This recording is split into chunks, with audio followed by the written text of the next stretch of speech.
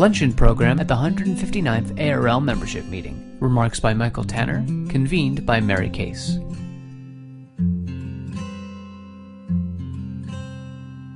There's a lot of good conversation going on. I'm sorry to interrupt.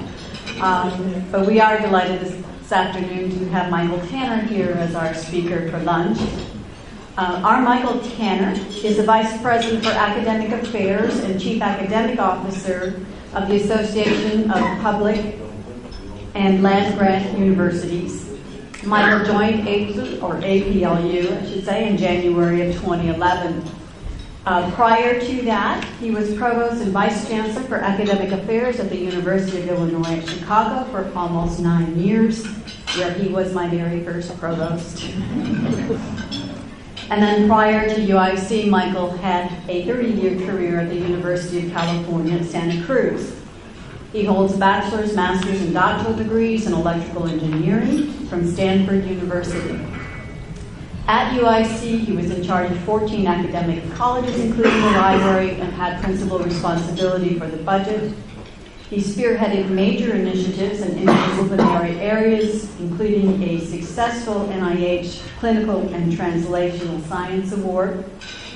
At US, uh, UCSC, he was chair of the Department of Computer and Information Sciences and acting dean of Natural Sciences before becoming academic vice chancellor.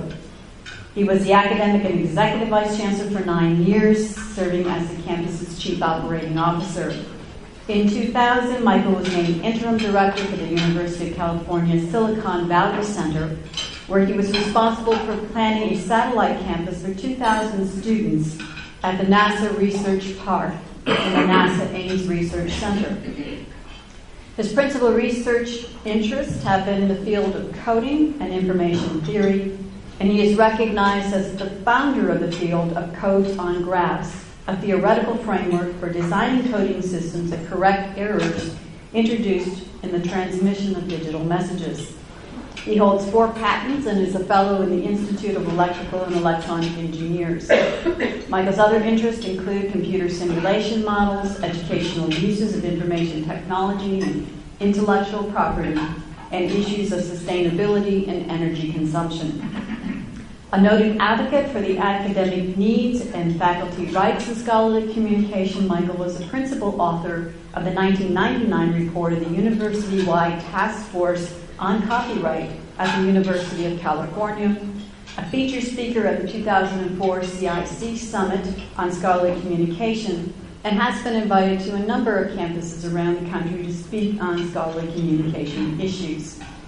He helped spearhead the CIC Authors Copyright Contract Addendum and was one of the uh, CIC provosts on the uh, negotiating Google digitization post-settlement contract.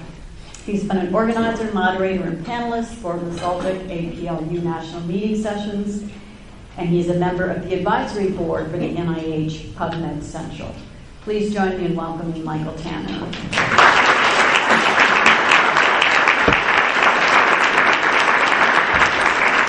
Thank you very much, uh, Mary. It's a great pleasure to be here with this uh, very distinguished audience. Uh, I was, as Mary said, the provost at the University of Illinois at Chicago. And uh, it's been quite a transition to be at the APLU. Uh, I was listening to my old friend Paul Courant. Uh, I haven't been sued in the last year. it's part of it's part of being a provost. I um, I did uh, come out of Silicon Valley. I grew up in the area of Silicon Valley when it was still called Santa Clara County. Uh, and um, picked Bartlett Pears on what's now Semiconductor Lane. I thought maybe what I could do uh, would, was talk a little bit about libraries from the perspective of someone who's spent a life in, in technology. I know this is a very sophisticated audience, and I said, I don't know what might interest them there, but I'll give you a few uh, musings on information technology and, and, what it is doing for, for libraries. So the, the, uh, the title is uh, uh Where in the Digital World is the Library? Which is sort of a variant of uh, the typical question exactly where is the library at this point? Um, there are three themes in what I'm going to say here. One is around the internet. Uh, Back in the 1990s, uh, I had the pleasure of uh, being with some of the people who were part of this great internet and stuff. And uh, everybody would have a conversation at the end and say, the internet changes everything. Meaning if you were having trouble you know, with that, this logic that seemed like it was taking you to some new space, it was because the internet changes everything. And at this point, I think it's fair to say the internet has changed everything and it hasn't finished. So we're still in this uh, time of very rapid change. It's both marvelous and terrible, um, depending on where you are, at which time, and what rights you want to try to protect. It's, it's absolutely marvelous. Uh, it's very, very disruptive. Second theme is um, in times of rapid change, design your future. Um, to use another California metaphor, uh, surfing, um, it's better to catch the wave than have it break on your head. So, this is a time of flux and a time where there's opportunity. And the third theme is uh, collaborative action is really necessary. Uh, and that's because we're in an increasingly interconnected world. You can't go it alone, so you better get together. Now, back to basics. What do I want in a library? Well, the ideal library is a place where I can go whenever I want. I can get rapid access to any of the recorded texts of human intellectual activity on any topic of interest to me. I can read the pertinent material. I can have help and guidance in finding that pertinent material. I will know that the records are authentic, and I know that they'll be there next time I come back and anybody else wants to get to those records. That's what I want from a library. There are five interconnected dimensions uh, around this theme where the internet has had some impact. And I'm going to put them in sort of a cluster here and see if I can talk about each one. I had 50 minutes? No. Not I'll have to today. be, I'll have to be somewhat brief. The first is uh, access, availability, and retrieval time. The second is the comprehensiveness and the quality of the collection. The third is density, durability, and security of storage. The fourth is the ability to find pertinent information. And the fifth is on the legibility of records. So I'm going to talk about some of these and the challenges that are there. There are lots of challenges out there for librarians. Now, let me first tell you that many people said to me, if you want to get something done, give it to a librarian. Okay? You have a very high brand name out there in the world among you know, provosts. Librarians are people who are going to make sure that things actually work. So that, good thing. But you are challenged at this point. First, you're etymologically challenged. A library has to do with the bark of a tree and the writings that come on the bark of a tree. And it's not too much about barks of, on trees anymore. It's not even going to be about paper very much anymore. It's not going to be about the physical record so much anymore. Um, so, other than the fact you've got the wrong name for the future. I'm going to sort of say there's a dividing line that's occurring in major form. There's no sharp division, but somewhere around 1960, we moved into an age where more and more was being recorded in some electronic form. And uh, there was a break that, that occurred. Up to that point, it was really the physical medium that dictated a lot about how a, a library performed, what a library would be, had to do with that physical medium. Now, I think it's the Assyrian tablets that hold the record for longevity, if I'm not mistaken. And um, that is a, a movable medium allowed you to have a library of tablets. And of course, it created certain constraints on the size of the collection. Um, it created enough constraints on the actual generation of the collection that you probably didn't have to worry about having the same problem. You had to carry it around, I guess. But it certainly it kept down the number of, of, manuscripts at that time because it was such a specialized form. So I'll go way back there. Because in the physical medium, our dependence on the physical medium and the effort of creating new works and duplicating new works actually proved the filter. Our record that would remain would be only those things that had high enough value that they could make it through a whole chain of filtering that was really generated by the physical medium.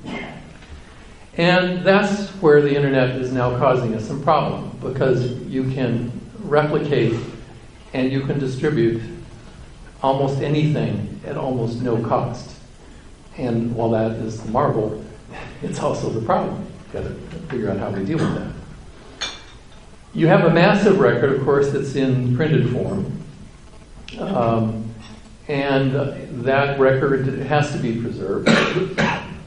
The future is going to be more and more about things that are born digital, they're native digital. And so I'm just going to concentrate on where that goes. They don't ever have one physical existence that you might say is the form.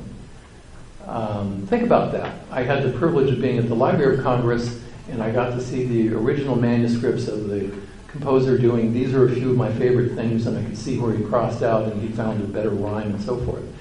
Uh, what are you going to do in the digital age to get back to that closest to the author?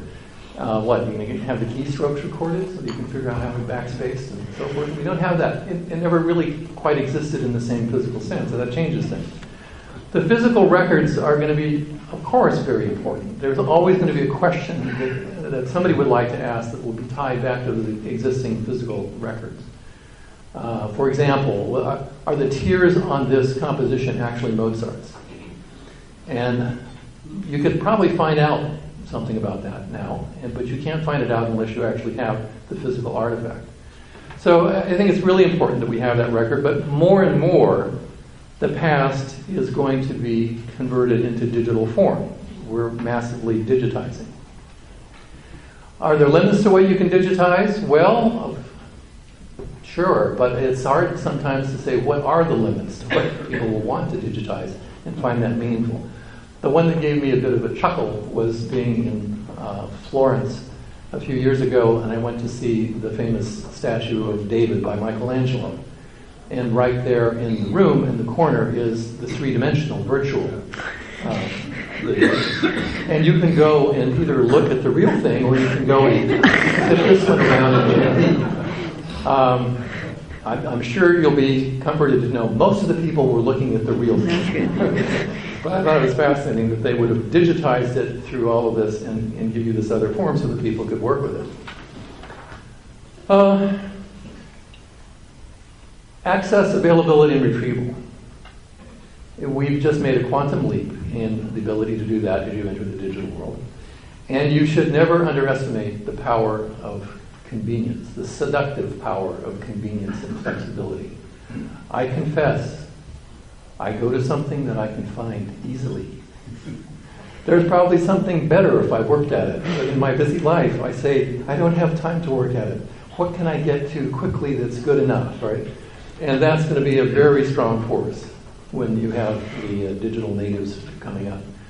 Um, I don't, you know, digital, the youth, the youth of our country. I have a, a, my grandchildren. I really was stunned to know that my four-year-old granddaughter knew exactly how to navigate to the URL to get to one of her favorite videos at age four. That was when I go, oh yeah, okay sit down and just start navigating on the web at age four. The next generation is taking digital access as a given, certainly in the developed world and in world, and many other places around the world where it's a leapfrog technology. I've been surprised. I've had to run a few tests with people that I thought were bibliophiles, would stay with the, the beauty of holding on to a high quality manuscript, and they've come to me and they've said, I just love reading on the Kindle. Really?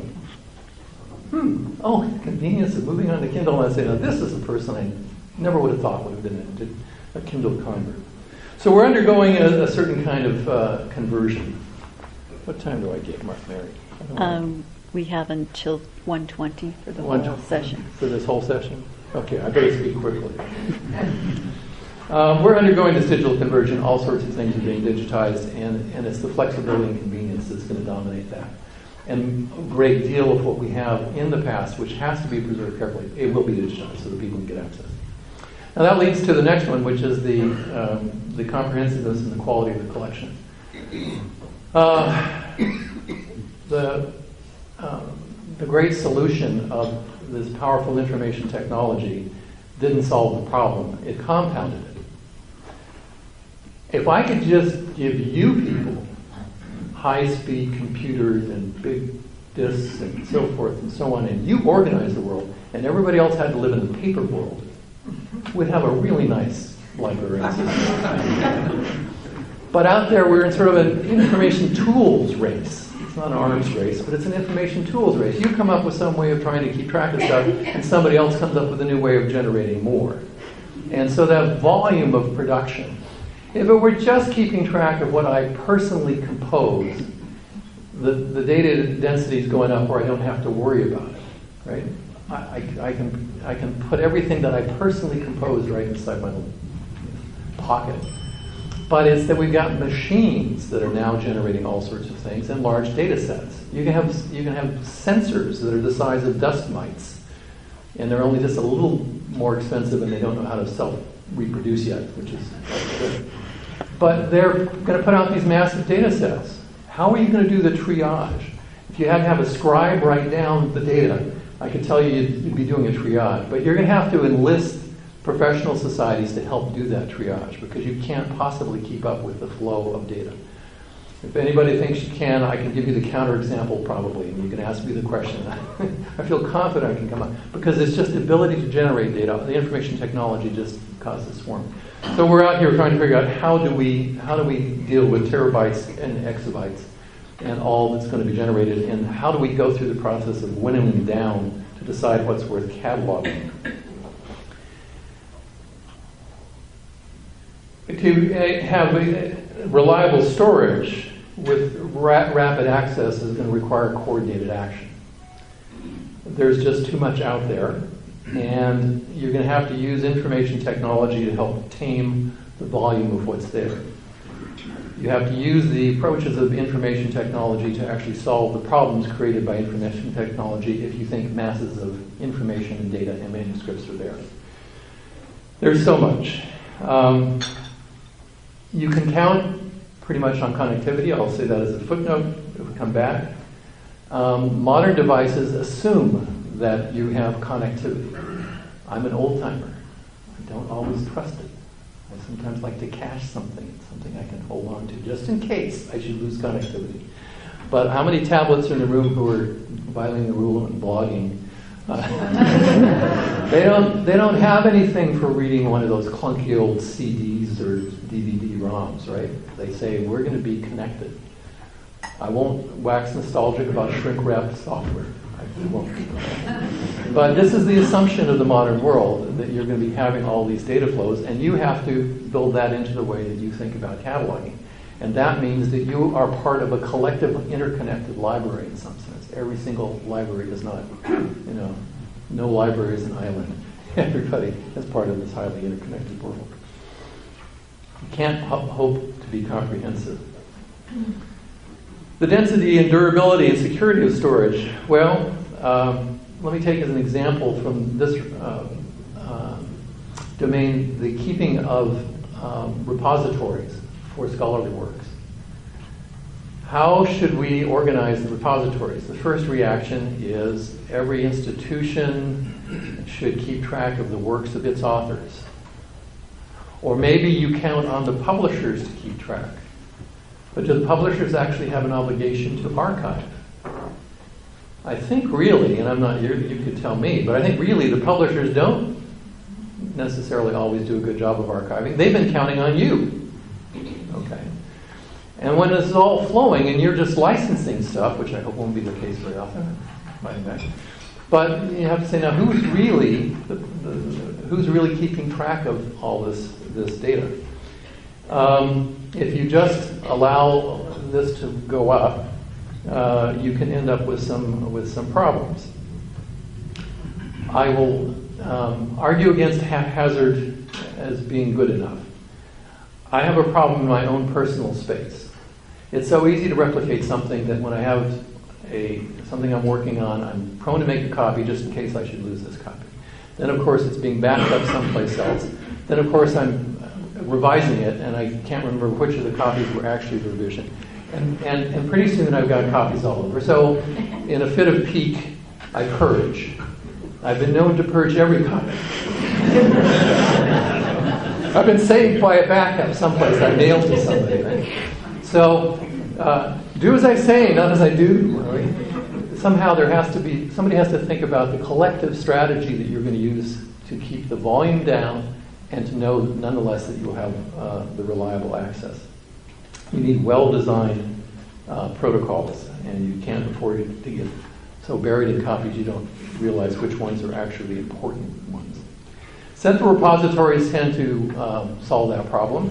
We have the Library of Congress uh, as a good example here, where if you have one integrated library that tries to be uh, very comprehensive, and say, okay, we know it's in, in, the Library of Congress, that's where the real copy is. And uh, that works pretty well because it says that integrated, but if you have a single point, you also have the corresponding vulnerabilities. The Library of Congress burned in 1914, right? It was one single spot, and if it weren't for the distribution of some copies that allowed retrieval, that would have been a real, a real disaster. I mean, it wasn't a real disaster as it was, but that's the problem with a single point, is that a single point is absolutely invulnerable to certain kinds of, uh, of loss and attack. Um, we are dealing with attack.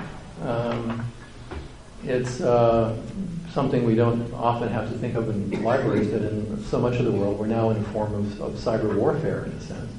And, you know, I but, but that's that really is what's going on. You have agents and, and, and counter agents. And nobody's said we're going to try to see if we can wipe out all copies of, you know, such and such in all libraries. Uh, but when thinking about the security of a system, as the engineer speaking, you do have to say, now, what are, what are our strategies and what are the vulnerabilities of the overall system? So uh, I, my specialty is error correcting coding and, and reliable communication. So that's uh, in wildness is the preservation of the world, said Thoreau, and I say in design redundancy is the preservation of the word. You've got to design your redundancy. I'm sure you're okay. The uh, uh, advantage of this fluid information that only every once in a while becomes manifest in physical form. Uh, again, it's got uh, wonders for uh, the disabled community. The fact that you don't have to have one thing, that you can have the font blown up, that you can change things, that you can manipulate it. That is, uh, you know, such a such a boon.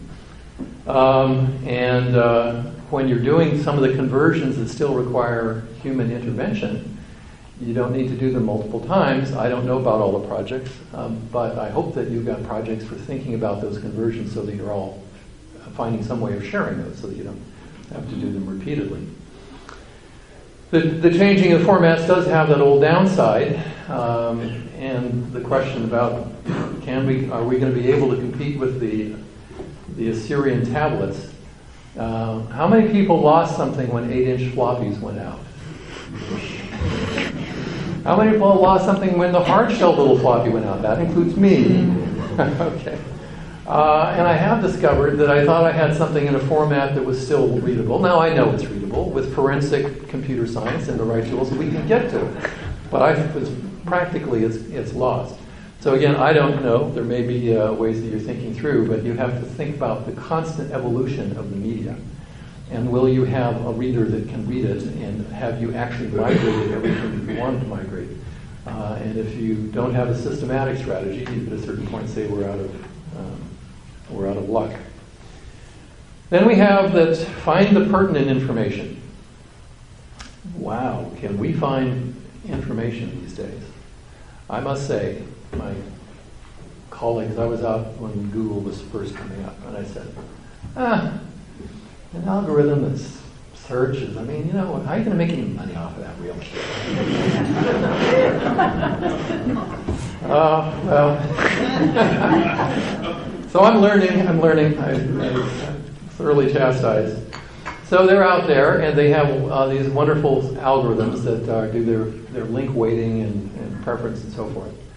And and they're Google, uh, particularly able to bring up uh, an amazing number of things um, that's the problem. At this point, Google is trying to figure out how they weed out all the chaff. I hope you don't have to store all the chaff. Google has a hard time figuring out how to get rid of the chaff. And while Google's trying to figure out how to do that, there are other forces at play that are, are working against it. One is everybody wants attention. And so there are people who are out there optimizing. If ever Google says what their algorithm is, there will be someone to say, now how do we get higher up in the ranking so we appear closer to the top? There is one way of doing it. It's called money.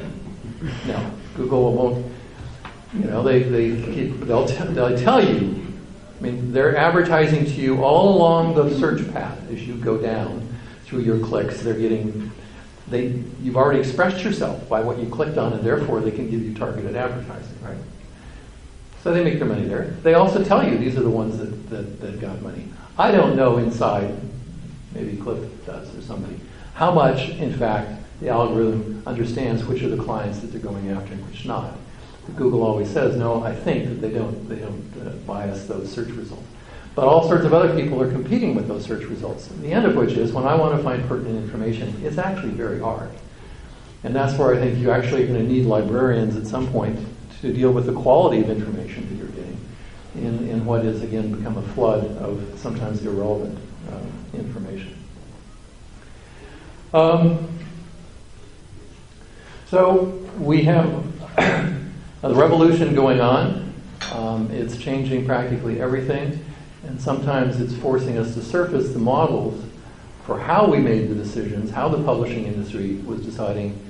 Um, how, how will it be decided in the future? You can, everybody can publish. You're the star in your own YouTube video. Which of those YouTube videos should we hold on to? Uh, any of them? Who's going to decide that? We've got a lot of new challenges because of this digital revolution, um, but I think it's a, a very exciting time. I think what I'll do is just leave you with um, one, one question, which is in the digital world, uh, what will be the criteria for membership in the ARL? I'm not sure I understood it. So.